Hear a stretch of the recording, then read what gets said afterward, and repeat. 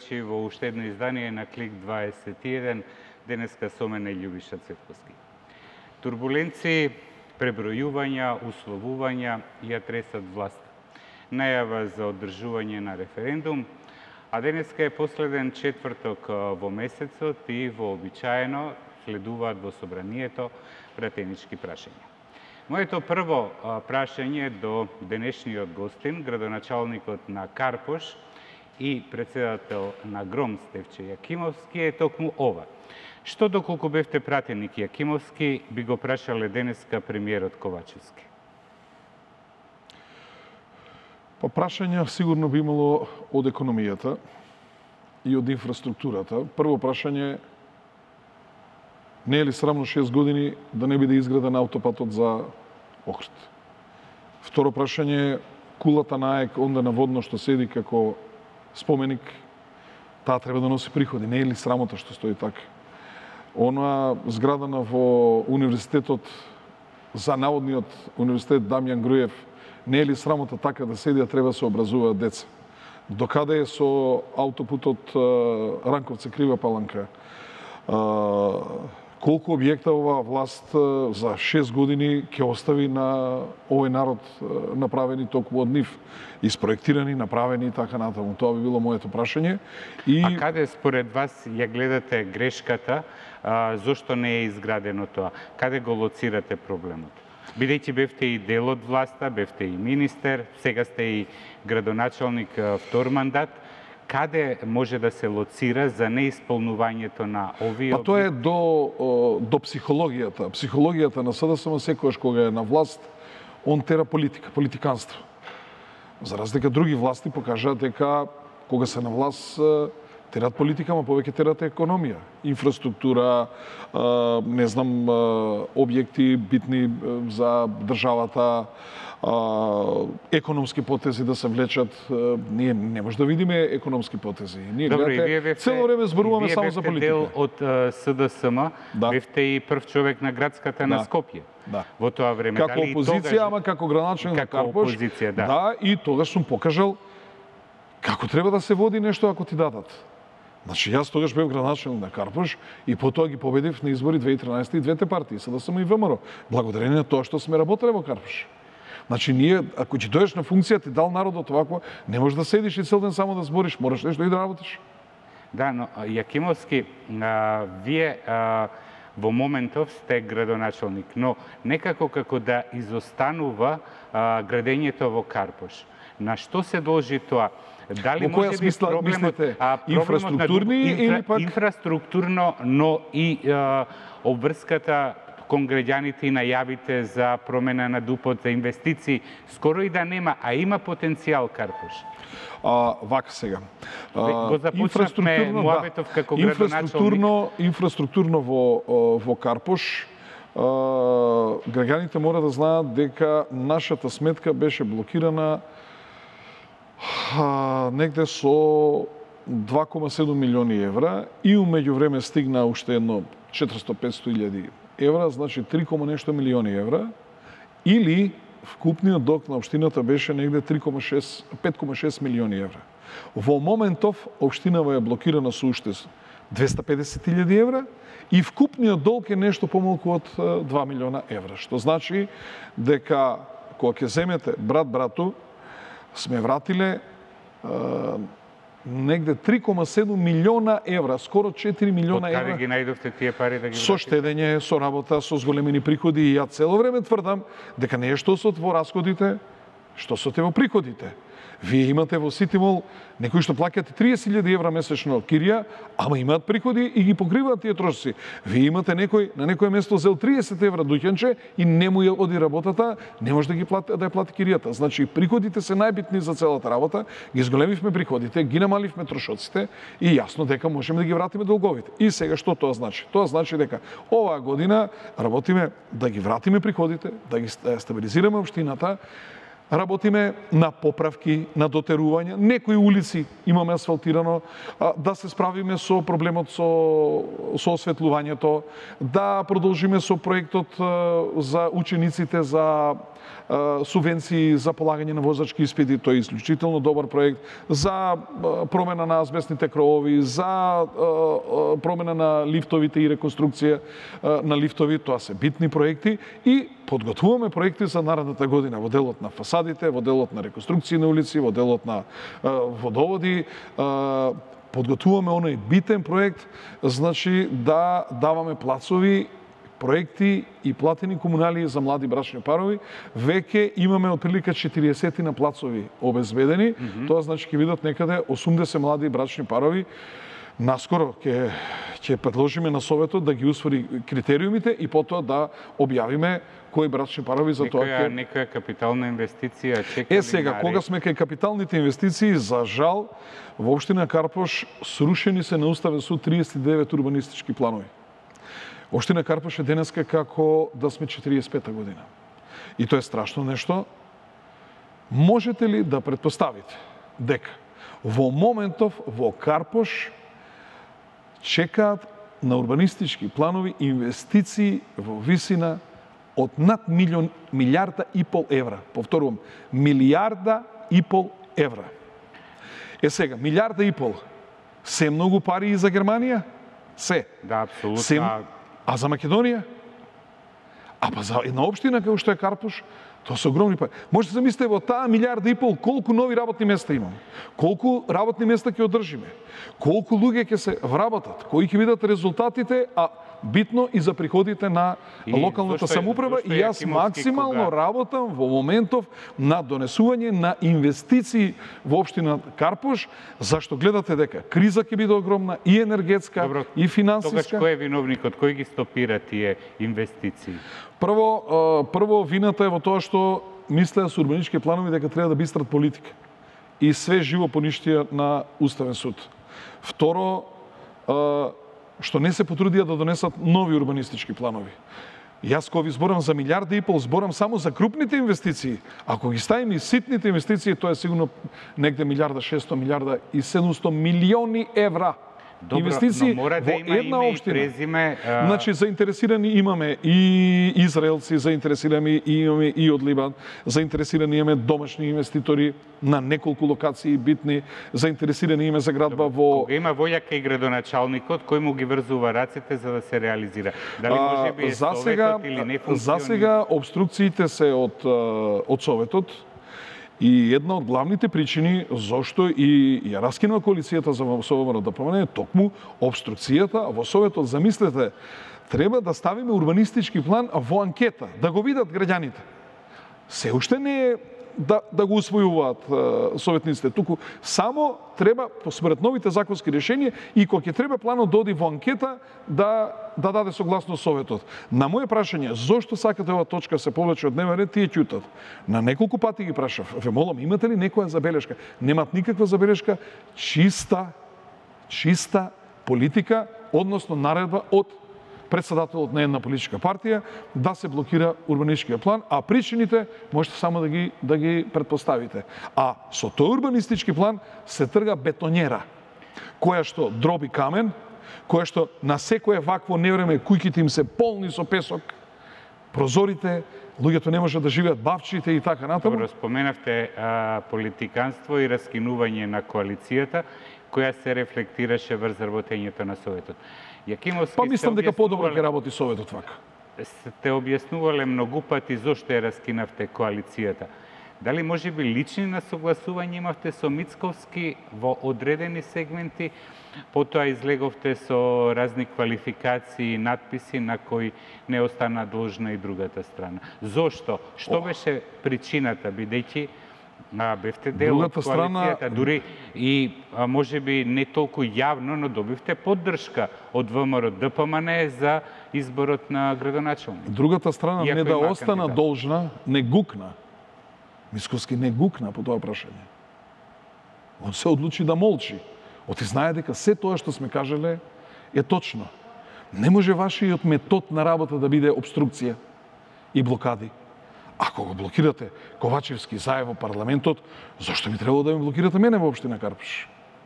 Зошто коалициониот партнер се однесувате така?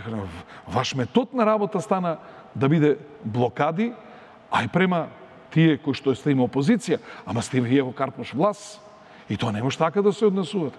Да не зборуваме за обидите за мешање внатре во партијата, ако може да се направи преврат во, во граѓанската опција за, за Македонија, значи сите работи си излегуваат полека на сигурно на виделина. И не сум ја тој што раскинува коалиција, раскинува партијата. Партијата на Централен одбор од некаде скоро 80 присутни, еден глас против и еден воздржан. Сите за. Зошто? Затоа што на ниедно ниво низ Републиката, граѓанската опција за Македонија, Гром, нема соработка квалитетна со ВМРО да ДПМН и ние после 9 годишна верна битка против оваа власт, за која што тие тврдат дека е најслабата власт од ослободување до денеска, ние раскинуваме коалицијата. Бевме заедно во најтешките моменти. И причината за тоа што оваа власт за која што тие тврдат дека е најслаба, лежи единствено во еден човек, а тоа е во Кристијан Мицковски. Да не можеш да срушиш најслаба власт, а и натаму да сакаш наше слепо следење на твоите политики, кои што во многу нешта беа погрешни, а ние како верни сојузници остануваме. И сега нема ништо страшно. Ние од тоа слепо следење и подигрување со нашата политичка партија се откажуваме, ние си се бориме сега за свое место под политичкото сонце, тие се борат за дневното и сите приказни, не знам со СДС сме биле, не знам сме одопротувале за власта, за власта одработува Христијан Мицковски, односно оној кој што во Брисел и сега во Букуреш односно во Будимпешта, се договара како да го надитри народот, односно како што сега тоа беше со излегување од парламентот, и како да го надитрат народот на да, крајот да, да си гласат уставните промени и бугарчињата да си гласаме во парламентот. Ќе дојдеме и до парламентот. Гром е со еден пратеник да. во собранието, но тој останува да делува со коалицијата. Да, ние сме опозиција. Не громи натаму останува опозиција. Ние никаде не сме рекле дека сме со власта или ќе бидеме, нити па сакаме да бидеме е, со власта. Тоа се само чисти флоскули. Нити било кој наш потез прави дека сме со власта. Ако имаме различно и имаме подобри предлози од тие што мислат дека ако се поголеми од нас, е, дека и подобро размислуваат. Не е точно. Тие се поголеми од нас. И во секој старт на избори има 300.000 гласови авансирани како резултат на узурпацијата на четирите свети имиња ВМРО. Но тоа не значи дека се попаметни и дека носат попаметни одлуки, одлуки од нас. И практиката покажа дека во изминатиот период направија многу грешки, кои што ние ги покривавме и зад кои што стоевме, меѓутоа повеќе Не можеме да стоиме зад грешки, а што стоиме зад грешките, туку има суета да не се прифати ништо и од озгора уште суета за подигрување со граѓанската опција за Македонија. Ние не сме партија, ниту јас сум човек со кого може да се подигрува. Не Христијан Мисковски, кој сака нека биде на, на земјинава планета. пред а, да преминеме на црвените линии, на сето она што се случува на политичка сцена, а, едно прашање како за окружување на делот како градоначалник. Споменавте дека може да се работи рентабилно во Обштина Карпош. Имате големи даночни обврзници. Една од најдобрите клиники, барем според местоположбата и сето она што се случувало годиниве наназад, е Филип II, која се наоѓа на територија на Обштина Карпош. Последниот период ја тресат многу скандали, по објавувањето на сторијата на ИРЛ нечиста крв.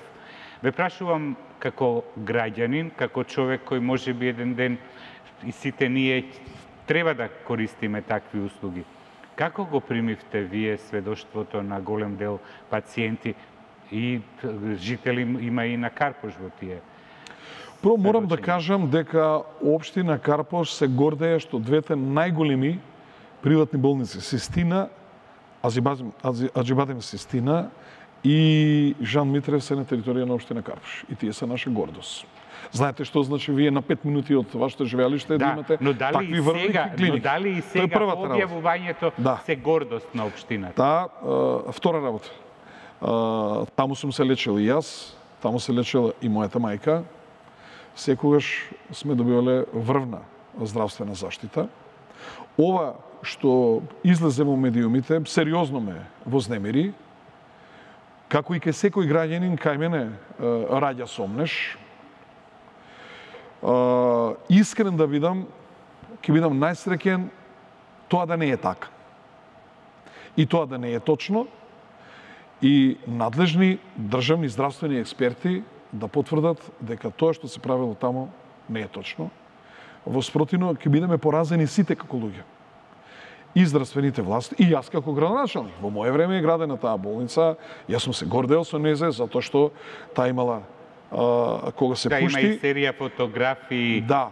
А, значи, опремата беше Siemens 2015 Таа се пушти во потреба, значи, најново збор на технологијата, од сите аспекти, од климатизацијата, од, не знам, прашања за бактериско заболување, да, начинот на диагностицирање и така натаму. А, беше предмет на значи, истражување. Значи, Јас сепак целата таа работа сгрозен сум, но би сакал да видам што ќе кажат здравствените власти и се уште не видовме никаде првиот човек на таа клиника да искочи вака како мене на медиум да се каже е тоа така, не е така, што е причината за тие фамозни филтрации и други активности. Но, што јас мислам? Јас мислам дека а, државата претера во либералниот однос кон приватните здравствени институции. Во кој дел? Па не можете вие да дозволите да некој е, кутри болен, кој што ќе западне во тешкоти во болнициве, да му однесат цел имот и на крај да заврши човекот во сандук да го вратат назад. Значи, не може вие ако некој пациент, вие пред секоја операција или секоја интервенција правите проценка какви ќе бидат ефектите, как ќе бидат. Да. И се ако тоа се одолжи месец, два и така натаму, и луѓето треба куќи станови да продаваат и на крај човекот да им го вратат во сандук, здравствените власти сериозно треба да се да се позабават со оваа работа. Например, слушам дека операциите на срце, постоперативното опоравување на пациентите државата плаќа само за 7 дена. Тоа е недозволиво. А што ако има компликации и треба да се продолжи тоа лекување, а многу често остануваат луѓе уште по 20 дена, по месец дена и така натаму. Значи ние малце Очекувате ли дека надлежните И не само во Жан Митрев, значи секаде да. малку треба инспекцијски да ги ставиме под надзор, под лупа и малку треба тие нивни цени да се подизбрусат. Очекувате ли надлежните институции, оние кои се задолжени за откривање а, и а, средување на состојбите, а, да одговорат а, реално, бидејќи многу пати до сега сме виделе формирањето на работни групи и а, инспекторати како делуваат? Па добро, вие дали видовте до сега за нечија смрт или за нечкој тешки последици кај одредени пациенти да одговара некој од од здравствените авторитети. Најчесто тие вештачења завршуваат во корис на евентуално осомничените или обвинетите. Има една стара изрека која вели успесите на докторите се над земја, не успесите под земја. И тие не може да зборат за за евентуалните промашувања. Да. Но во секој случај, во секој случај сакам да кажам. ние во Македонија сепак имаме квалитетна здравствена заштита како да сме држава со најмалку 15.000 долари по глава на жител. А имаме многу помалце. Од тоа, мислам дека ни недостасува организацијски, доктринарно поставување на работите и малку поголема дисциплина во здравството и мислам дека резултатите ќе бидат посоодветни. Ако ви кажам дека мојот сват, како дипломат, во Канада скрши нога и во ходниш чекаше 17 часа. 17 часа како дипломат. Ајде ме прашам и кога го снимаа, тоа му рекој ќе дојдете после 10 дена на операција, после 10 дена операцијата се направи 2-3 сата колку трае, уште 2 сата постоперативно во интензивна нега и после тоа ве стават во количка, до скалите ви припишуваат лекови што треба да се ги зимате и дома. Ако некој кај на 17 часа со скршена нога седи во ходниците на клиниката, мислам дека директорот на клиниката или министерот за здравство ќе го обесиме на на првата бандера на площад. А, така да, Добро, поентата... јас во секој случај не би фрлал со дрва и со камења по здравствените работници, по докторите, оти тие ни ги спасуваат животите, може да има девијантни појави, но сепак и јас ќе бидам резервиран. Да, да ги изгледа и сочекаме многу... здравствените власти да си го кажат своето стручно мислење за таа работа. Добро, и после дури и, и, се, и што сакам да кажам, ако во оваа работа во таа сторија има политика, се може да се деси. Може Да, ништо да нема, може да имаме случај. и да завршиме А, со притвори. А ако нема политики, ако се тера, ме слушате, истрага. значи, ако нема политики, таа работа може да излезе на чистина и да биде точно онака како е што е битно за граѓање. Ако се вмеша политика, може да се две опции, да се забошоти или евентуално некој да заврши во Да, притвор. како како многу други а, случаи. Најдобро е да нема тука политика. Секако, барем во здравството. А, но политиката е неизбежен дел од македонското живење. А, турбуленции, пребројувања и условувања. А, особено по францускиот предлог кој дојде во собранието. Вие бевте дел од протестите кои што се организира. Три пати сум бил на протести. Да, десетина дена пред одржу, пред гласањето во собранието. Како сега гледате по случувањата што ги имаше нашата влада во Брисел и добивањето на на датум за почеток на преговорите, одржувањето на првата меѓувладина конференција. Колку францускиот предлог а, ја разедини а, мак, а, ги разедини македонците? Прво должен сум да објаснам зашто сум бил само три пати.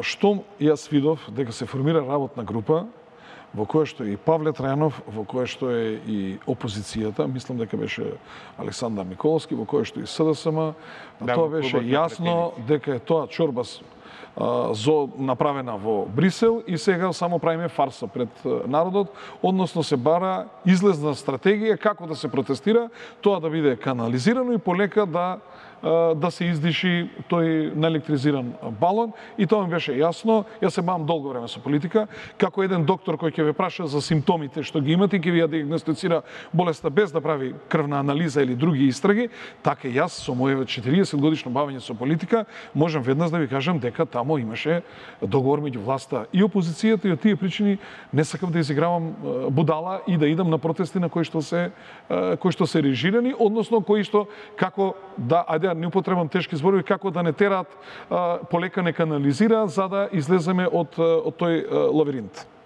Имам едно клучно прашање. За било кое етничко, идентитетско или било какви рефлексии има врз припадниците на етничките заедници во Македонија, не треба бадентерово мнозинство. Ајде преброиме во парламентот дали две третини од македонските пратеници го гласаа француско-бугарскиот предлог.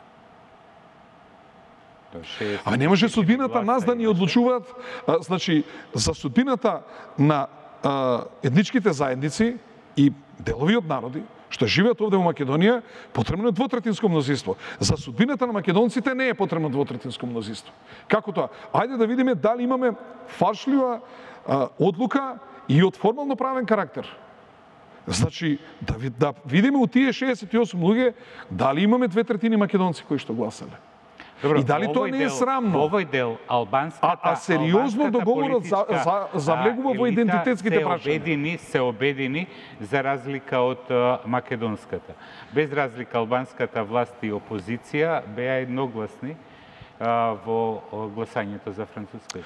Па, видете, ова оствара, остава сериозни последици меѓу за албанско-македонските односи во Македонија. Мислам беше коректна кога веќе ја режираа целата фарса, Може да изрежират барем една албанска партија, макар и минорна, макар и мала, да гласа против договорот. Јас искрено мислам дека дека не е добро што сите албански партии гласа за овој договор. Еве јас како македонец повторно го поставам истото прашање. Дали имаме две третини од македонските пратеници да гласале во во предлогот со кој што се задира во идентитетските прашања на македонскиот народ. Според вас, во кој идентитетски дел се задира?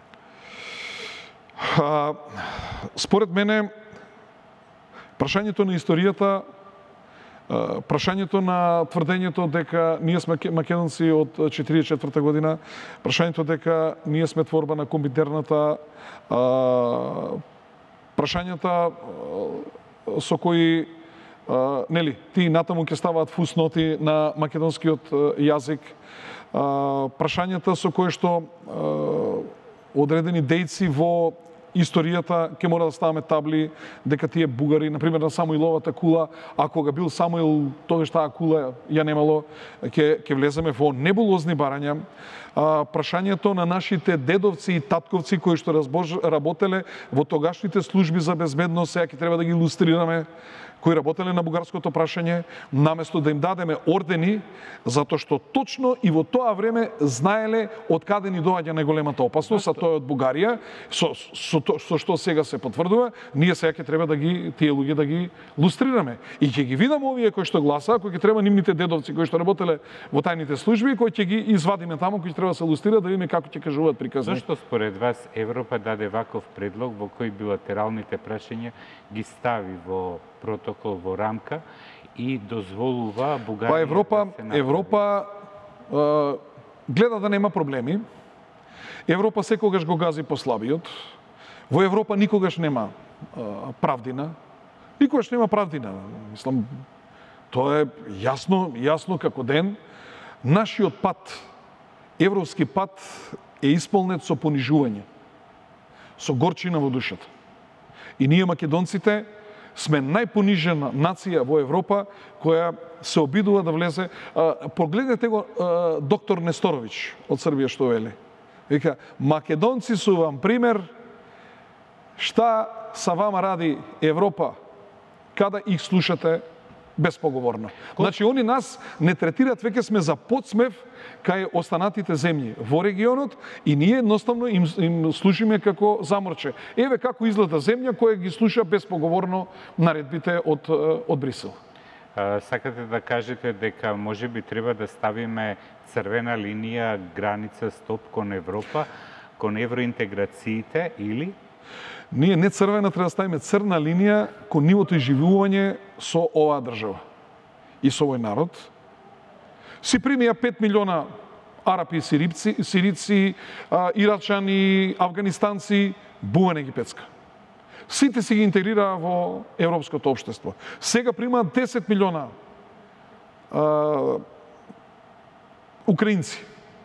Знаете ли по амбасадите за Запад и за Америка и така натаму се чека по 3-4 месеца затоа што а, гледаат што е можно повеќе украинци украинци сега да однесат да примат од овие што што се бегалци. Ама најголем проблем им представуваат милиони 850 државјани на Република Македонија. И ние таквиот нивни однос треба да, да го прифатиме. Дали може би во оваа цела ситуација потврли македонската дипломатија?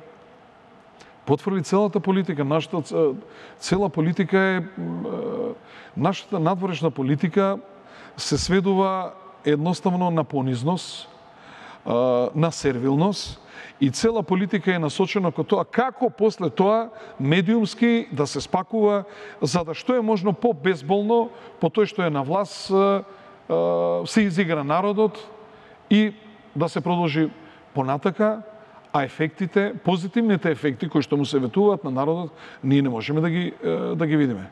Имавме страшни ветувања кои ќе влеземе во НАТО дека инвестициите на граница чекаат како оние атлетичарите кога стартуваат на 100 метра да трчаат. Така чекаат само ние да донесеме одлуката. Имавме ветување дека отвараме преговори со Европа, испадна дека не е така. Се сеќавате Бојко Борисов како тој не поддржуваше Да, на нашиот пат кам Европејскиот сојуз. Ја видовте ли таа фарса, таа игранка и ние требаше да им удриме блок исто на нив и да видите во оваа геополитичка ситуација на Европа и е многу битно секој дел од незината територија европска да биде покриена и ние овој момент не го користиме, наместо ние да удриме контра и јас одговорно тврдам дека времето беше зрело за вето на Финска и на Шведска, а не вчера да искачаат и да држат а, а, говори дека тоа ни биле пријателски земји, а ние што сме непријателска земја на Франција? Па пред две години Добро, ни го блокираше а, влезот со консензус беше донесено 8 пратениците на левица а, беа против. Е, па затоа левица утре ќе видите колку гласови ќе ви земе. Затоа што сите се у таа договорка. Ни на крај памет нема да речат, слушај, ќе го искористиме механизмот што ни стои на располагање да се спасиме од овие бугари. Ни на крај памет. И, и еве и нивната коректност да ги гласаме Шведска, бар да најавеа Па еве сме попуштиле, сме се откажале од таа работа. Па да добиеме некој бенефит од овој француско-бугарски договор. Не, ни на крај памет. Само викаме ние сме мали, ние сме никакви. Чекайте бе луѓе, Колко... зашто правевме референдум 92 година? Правевме за да бидеме држава, не за да викаме сме мали. Дали е мала или голема, секоја држава. Добро, може би а во оваа ситуација што е најбитно не треба да се споредува со сите овие што следува по него особено сега а, најавата на лидерот на а, Мицковски дека ќе организира референдум и последната изјава на председателот Пендаровски дека треба да има јасно формулирано прашање а, да, дали сакате да одите во ЕУ под вакви услови. Смета Пендаровски дека треба да биде прашањето, бидејќи од ВМРО ДПМ не прават консултации за што да биде референдум? Јас мислам дека едниот и другиот подобро да зачитат. Председателот учествуваше во ова предавство, а лидерот на опозицијата ми беше асистент. Он беше таен предавник во целата оваа работа. И сега, за да, за да се зацкрие сето ова и штетата што ја трпи од е, неговата наводно тајна, а се, ова негова тајна игра беше као дете кој ќе стави јастук на глава и вели кај сум. Значи, ова така го правеше Мицковски. Потполно е јасно која игра е одигра и сега што е најстрашно, толку неотесано продолжува да ја игра, обидувајќи се да прави референдум, на кој што референдум 102,6%, знаеме дека ќе биде неуспешен, нема да има мнозиство, Ама него му треба референдумот за да се испере пред меѓународната заедница и потоа да добие практично отворен пат во парламентот да ги гласа уставните промени за влез на бугарчињата во уставот на Република Македонија. Значи, таа е целата работа. Ја што сметам? Сметам дека е нечесно да го лажеш и да играш дволично према граѓаните на Република Македонија, поготово кога ги имаш во своето име тие четири свети букви. Не е коректно. Према своето членство, тоа не го заслужува, не го заслужуваат граѓаните, не ја заслужува таа историја, историјата. Ако мислиш дека ова треба да се подржи и ако е побитен побитно отварање на преговори со Европската Унија, треба да искочиш и поштено тоа да го браниш. Ако не, треба да кажеш но пасаран. Овде нема пролаз и овде нема да го поддржиме ово. И затоа мојот предлог, односно предлогот на граѓанската опција за Македонија е многу коректен, многу конструктивен. Дојдете да подпишеме, сакате договор, сакате декларација. Мицковски, Јакимовски, Апасиев, Стоилковиќ, кои сме сите тамо, дека ако народот ни даде 61 пратеник, ние на првата седница во парламентот на конститутивната, овој француско-бугарски договор ќе го поништиме. Ни референдуми, ни мачење на народ, ни циркузи, ни трошење пари за ни да, ништо, но, ништо, но ништо, ништо. Тешко, нема, значи нема потреба да се криеме за народот.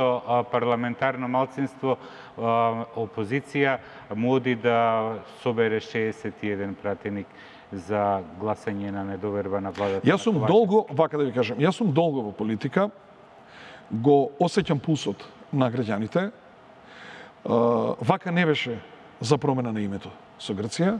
Сега е работата многу понеелектризирана и на луѓето не до овде, значи преку глава им е дојдено од овие попуштања, а аир не видовме никаков и веројатно нема да видиме аир и јас гарантирам дека цврст договор пред граѓаните, без лажење и без подпуштање пред било каков притисок, дека граѓаните ќе не поддржат и ќе ни дадат 61 пратеник за да ова го го поништиме. Дали дали Јакимовски И да покажеме дека... дека не може да се играте со македонскиот народ. Дека може во овој парламентарен состав да опозицијата малцинството обезбеди 61 пратеник и да се изгласа недоверба и да се оди на предвремени избори. Ама- Со оглед на фактот што еви алтернатива има забелешки а е коалиционен партнер за функционирањето на владата и не на име, неименувањето на нивни членови на фу, функции. А, за да Имаше приберете обикновени 61 времена, пратеник и за да ја срушите владата, вие што сакате да ја срушите, треба да имате комплетна понуда и кон тие што треба да ја подржат, но и кон граѓаните. Треба да имате комплетна економска понуда, комплетна социјална понуда, комплетна инфраструктурна, комплетна енергетска понуда за граѓаните. На што ќе ја срушиме? Бараме да дојде ново парламентарно мнозинство, но во исто време не гледам јас понуда до граѓаните, а и тие што ќе треба да ја слушат дека ќе дојде нешто нешто поново. Што треба да направиме? Да го тргнеме јавниот предавник, Социјалдемократскиот сојуз и да го донесеме тајниот предавник на власт. Тоа ако ни е целта, тоа е промашена цела. А кој друг би дошол од овие две политички А зашто би требало само тие две политички политички партии? Е, ние цело време се жалиме каква ни е државата. Еве ваква ни е државата како резултат на тоа што цело време се менуваат овие две политички партии. Ајде малку да ја разбистрим работата. Ајде малку да да го протресеме изборниот закон. Ајде малце да создадеме простор и за други политички мисли во оваа држава, за други политички, економски, социјални, енергетски, инфраструктурни програми во оваа држава и да видиме после тоа каков ќе биде составот на парламентот и ќе видиме дали некој ќе може да владее вака како што сега Добро, владее. декларативно двете големи политички партии македонски ВМРО и СДСМ а, се е за промена на изборниот модел, она што Ама во нивна корис. а што го залагаат помалите Ако политички 90% партии, од парите за избори, се ако може 95% да зимаат, они се за таков модел. но се уште, но се уште е во собраниска процедура. Еден од условите беше на помалите парламентарни партии за да дадат поддршка.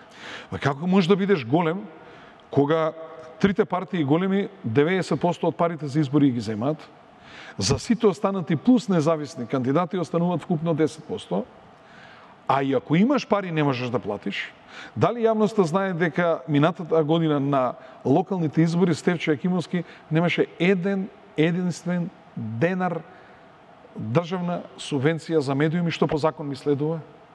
Си ги земаа и едните и другите, не можеш да добиеш ништо, своји пари не можеш да платиш. Од каде Среќа што ги имаме со социјални- пари, со кои пари а, Јакимовски а, А среќа што ги имаме социјалните што ги имавме социјалните мрежи и среќа што граѓаните ме знаат и среќа што ги знаат а, моите резултати до тогаш така да многу лесно можев да да испарирам на на целата работа. Иначе анонимен кандидат, теоретска шанса нема нема да помине. Ете тоа е тоа е моделот на финансирање во кој што они си ги земаат сите пари, а од друга страна вас ве ограничиле и ако имате собствени пари, и ако безбедите спонзори, вие не можете да да ја финансирате кампањата. И што вас медиумски ве нема, автоматски тие царуваат и медиумски, а во исто време и подалбата на парите за функционирање на партиите се во нивна корис, а во исто време и изборниот модел со шест изборни единици е во нивна а, нивна корис и сето тоа прави прави да ние никогаш помали политички партии или за нова политичка мисла, за нова политичка идеја да готово нема место во И парламент. самиот рековте дека сте добар познавач на политичките случувања а, во земјава со оглед на фактот што безмалку 40 на години сте а, во политиката и активен чинител и од едната и од Од 84-та од градска конференција на младина на Македонија. ве вратив многу. Па председателство на младина на Југославија 88 90 година. Да, а, прашањето, прашањето ми е доколку сега се обезбедат услови за а, воредни парламентарни избори, предвремени парламентарни избори, а, каков би бил распоредот на силите? Пред малку рековте дека 61 пратеник да добие актуелната опозиција би било се поинаку. Ако не е обединета, теоретска шанса нема да дојде да добие 61, нити ќе дојде близко до, до тие 61. Јас нудам обединување, дури нудам и подршка на таа влада, без да учествуваме во таа влада. Е, не барам од колач, не барам, не ни е битна власт, Битно е да го сочуваме достоинството, да го сочуваме идентитетот. А, значи, дури не бараме ништо, ќе држ, даваме бранко подршка на, на таа влада, само ова што се прават вакви штети по идентитетските и културните, историските прашања на Македонија, да се анулираат и ништо повеќе од тоа, но мислам дека сега, ако има избори, нема многу да се офајдат ниту владеачката, ниту пак главната опозициона партија и ќе имаме сериозна битка за тоа кој колку ќе добие. А, кој кој политички субјект кој е актуелен во моментов би извлекол најголема корист од предвремени парламентарни избори? А, знаете што, ситуацијата е зовриена, поготово националните прашања играат улога и мислам дека оние што играат најтврдо и маркетички најако тие ќе извлечат најголема корис, која што нема да биде доволно за да можат да да формираат да формираат влада. А кај албанскиот политички блок би имало ли некои тектонски поместувања? Јас мислам дека и натаму Дуи стои доста стабилно во албанското гласачко тело. А, Јакимов... Но повторно, што ме плаши? Ние влеговме во една замка со овој француско-бугарски договор. Јас сум, еве, со бели коси. Послушајте ме дека наредни 20 години ние ќе збориме само за бугарите. Пред секој отварање и затварање на поглавје ќе ни се поставуваат тие проклети нивни прашања. Цело време ќе зборуваме за комисиите, се состанале, не состанале, решиле, не решиле и така натаму, за најбитните прашања. Тоа е за стандардот за вработување, за странски инвестиции, за домашни инвестиции, за подобар живот на граѓаните, ние нема да збориме, као што сега воопште за тоа прашање ние не збориме. Еве, јас сум прв кој што зборувам за инвестиции. Да, зборуваме некои инвестиции. Ние само збориме за бугарите. Само уште едно блиц прашање, па потоа би сакал и како поранешен министер за економија и за труд и социјала исто така, а, ќе разговараме пред а, последните минути од денешново гостување. А, како ја гледате од страна сега состојбата во СДСМ? Соглед на фактот што бевте и на а, висока позиција, градската во Скопје беше една од најактивните Па, вака сега. Јас само можем да го гледам од медиумите и она што се презентира. Искрен да видам, немам контакти или се тие вака. Спорадични контакти, не можам да навлезам во сршта на функционирањето на Социјал-демократскиот сојуз. Не можам да ги проценам нивните вратнешни односи како стои кохезионов натре, но она што го гледам надвор, мислам дека француско-бугарскиот договор им направи огромна штета. Сигурно и на тие, протестите и тие... се видовте со некои од поранешните членови, бидејќи имаше и такви. Па да, има има обично зборувам за обични членови, зборувам за нивни поддржувачи од шарената револуција. Убеден сум дека последиците од француско-бугарскиот договор ќе ќе го трпат и мислам дека тие ќе се обидат се што може да сторат да не дојде до брзи предвремени парламентарни избори, туку тоа да да биде во 2024 година. И јас мислам дека договорот заедно со опозицијата, односно пеењето што е правено во Брисел е ова работа да се тера, па да се прави фарсата со референдумот, па потоа некаде на есен наредната година да им се изгласа промените во уставот со кое што бугарчињата ќе влезат во во македонскиот парламент. Ние нашиот устав го направивме како но, боксерска вреќа. Да, но, кој стигне како ќе му дојде, кој и со ноги и со руки мава. Ама извинете само, ама бугарскиот бугарската конституција оние викат уставот, тој не се пипа никако. Нема не ги интересира, не ги интересира нив дали некој е неправден. 17 пресуди има Омо Илинден. Значи, да, тоа не ги интересира. Само нашиот устав може да се менува. Јакимовски, кога веќе зборуваме за уставот, потребни се две третини за промена на уставот. Тоа е повеќе од јасно. А, ВМРО ДПМН, пратениците од таа партија имаат заверено изјави кај нотар дека нема да гласат. Ај, ај да видиме, ај да видиме за година и пол, отприлика од сега, ќе бидат постари и, и поопеани од од овие сега во Будимпешта што ги вика. И ќе видиме. Живи били па видели. За година и пол Јас знам, да имаат јас знам каков став, јас знам каков став ќе има мојата партија. А каков ќе има опозицијата на чело со Мицковски, тоа е нивна работа, можам само да предпоставам. Јакимовски не чека, барем според најавите на вашиот актуелен колега, министерот за економија Кришни Бектеши, не чека тешка зима, енергетска криза и најава за прогласување на енергетска криза. Што може да очекува? А Ковачевски вика, немајте гајле, уживајте. Струја ќе има. Сега, дали се они во контрадикција еден со друг или он не уверува дека ќе ќе имаме електрична енергија. Бектеши, во секој случај, Бектеши не кажа голема мисла, тоа од сателит се гледа. Сериозно пореметување има на, на пазарите на енергија. Кога зборам за енергија, зборам и за нафтата, и за гасот, и за електричната енергија, обновливите извори на енергија, хидроенергијата, термоенергијата, атомските централи. Најголема опасност за светот постои од а, 92 има нуклеарни централи во светот, кои што произведуваат огромна количина на електрична енергија и најголем дел од нив се снабдуваат со руски ураниум. А ако таму се завртне вентилот, тука се најсериозните проблеми. Не се толку од гасот, од јагленот и од Да. другите работи. За жал, ја не можам да видам дека ние од февруари нааму а, интензивно се подготвуваме со алтернативни извори на енергија да ја што се вели да ја преплавиме државата за да колку толку го ублажиме и увозот и увозната зависност од од енергија, Добро, ќе биде проблем, ќе биде проблем што нема од каде да увезеш. Да, Ако има од каде е лесно, нема од каде да увезеш. да и по која Значи, цена кризата е општа. да биде важно. Да. Има срамежливи најави за изградба и веќе некои делови се изградени со фотоволтаични централи, со ветерници, но тоа е минорно во споредба со она што би имало потенцијал Македонија. Господин Љубиша, па тоа се прашањата за кои што треба да да престанеме се глупираме со бугари, со не знам нашиот пат понижувачки кон Европа и така натаму. Аманти луѓе, дајте чебрени галиште да го изградиме. Тоа е втора по големина брана во Европа ќе биде.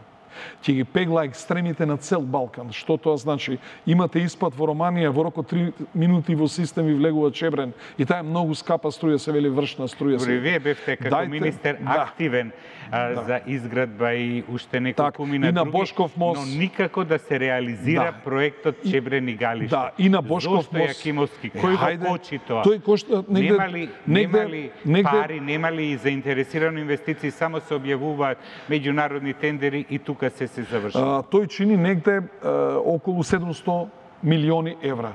Е сега ако ви кажем дека ако пројдеше јужниот поток низ Македонија, годишно ќе добивавме 340 милиона евра. Да, за две години, За две години, се да. пари. Е сега не ни дозволија од стратешки причини, како резултат во сојузите во кои што сме влегле и така. Се е тоа во ред. Ама ние трпиме дирек- директна штета. Дајте пари компензирайте. Разбирате што кажувам?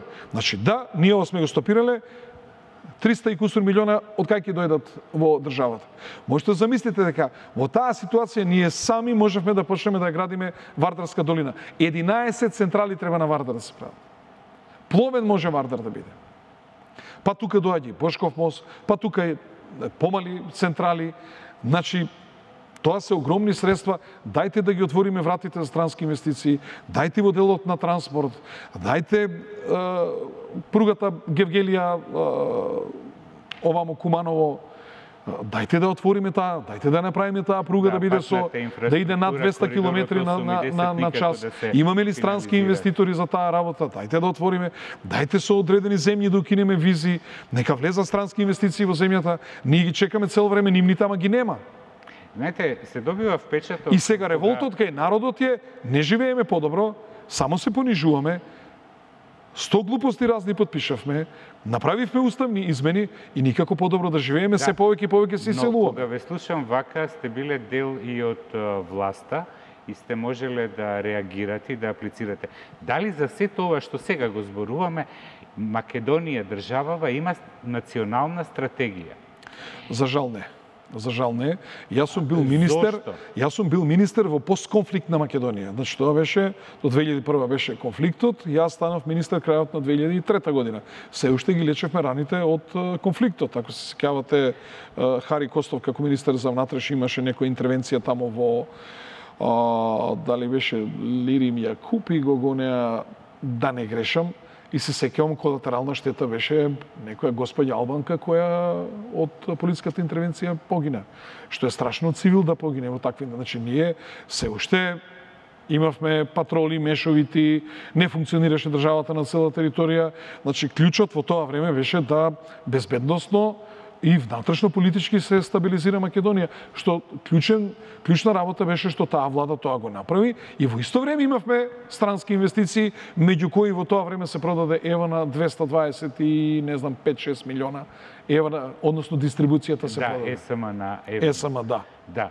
А, прашањето ми е дали и вие како поранешен министер и редица други за економија а, мора и треба да се согласите да направите стратегија за развој на држава, особено во енергетскиот сектор кој тоа како е Па, потребен. ја мислам дека енергетскиот сектор во Украина и Русија се потврдува тоа дека Енергетскиот сектор е едно од прашањето на кое што можеме да постигнеме консензус. Нема да која влада да дојде, овој правец ќе го тера. Значи и македонци, и албанци, и турци, и сите и сите представници на политички партии, ние можеме да имаме еден енергетски концепт. И околу тоа мислам дека нема да имаме проблем. Еве едно прашање околу што а, ќе одиме напред. Сигурно прашањето за безбедноста на државата. И тоа е прашање кое што ќе одиме напред. Прашањето на екологијата. Можно ли е бе луѓе да немаме ни една депонија според европски стандарди? Ај објаснете ми, еве, треба да има седум регионални депонии.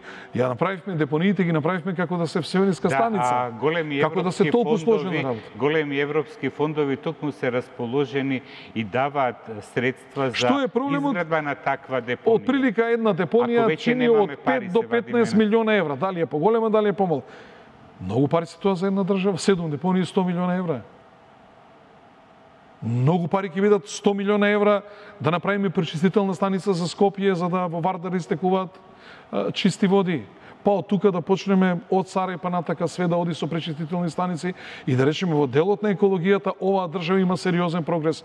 Нема некој што нема да каже да, ова е консензус по ова прашање. Еве ги две прашања на кои што веднаш се сложи. Да, и пред самиот крај Јакимовски има ли консензус и каква е соработката со актуелната градоначалничка на град Скопје Даниел Арсовски? Да, соработуваме. Јас сум благодарен и за незините проекти. Например, заедно со јавното предпријатие Водовод и канализација на улица Јури Гагарин направија голем зафат затоа што при секој голем порој е, тамо се собира огромни води, дури ги поплавуваше тој дел од Јури, односно тој е Јури Гагарин или поточно каде што живее господин Петар Гошев, одозгора доаѓа од улиците Мокра и Кораб, од тој дел од Кеждане се собираат води и од Нерези, тоа е голем зафат. Сега имаме една водоводна мрежа која што се прави исто по улица Козле и тоа е драстично подобрување на водоснабдувањето на граѓаните. Сега градот Скопје асфалтираше улица во Бардовци, продолжува со изградбата на мостот. На наше барање градот Скопје, односно господјата Данела, започна да го чисти кеот на реката Вардар. Гледате, прекрасно изгледа кеот на реката Вардар, се се тоа зафати лавина реакции предизвика баш вчерашната објава за а, ставање асфалт на а, патеките во градскиот парк. Па добро, али Дали лавина реакции. Сега се гледа еднострано, ама ако прашате мајка со дете која бутка количка, она ќе ви каже дека тоа треба да да се асфалтира. Ако прашате постари луѓе кои што пешаше тамо, сака да да газат на рамна подлога. Сега се е дискутабилно и од кој агол ќе земете да да го гледате.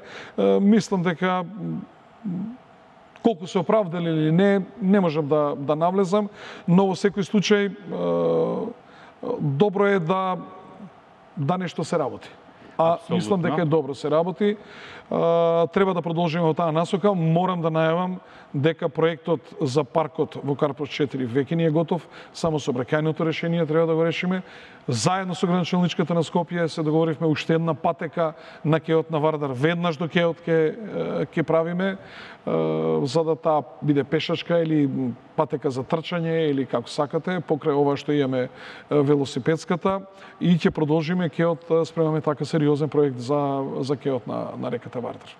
А, И во оние делови, значи улицата, мислам дека е улица 5 или 4 во Бардоци кој што иде према Визбегово, таа улица ќе ја правиме до крај за да го поврземе Бардоци со Визбегово, за да граѓаните немат единствен излез вамо само према Злакуќани, према сервис Бате, туку да имаат и према према Визбегово, значи од две страни да може да се влегува во А, задоволство е да се разговара со вас, одамна се немаме вака расприкажано, особено и утрински. И бај ги се ја расприкажав. Да, се надевам дека она што во еден сегмент од разговорот го потенциравте за инвестициите во општина Карпош кои чекаат зелено светло и потврда од Советот ќе бидат надминати и можеби Карпош ќе биде една од општините која ќе има над милиарда евра Да, јас се надевам и верујте, спремен сум што се вели на колена да клекнам, луѓето дојат да инвестираат, затоа што секој нов квадрат во Карпур значи ново работно место, значи одржување работни места, а ќе видите во каква криза ќе влеземе во од десен ќе остануваат луѓе без работа, а јас се борам за да одржиме или да имаме нови работни работни места во Карпуш.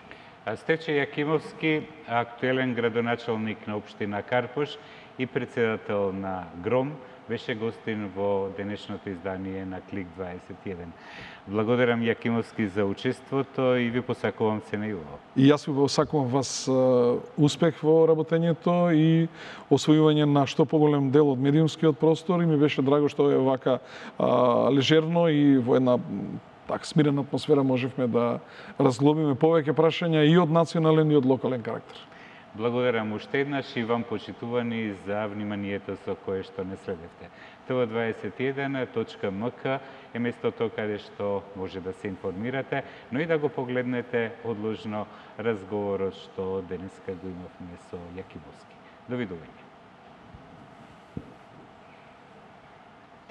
you.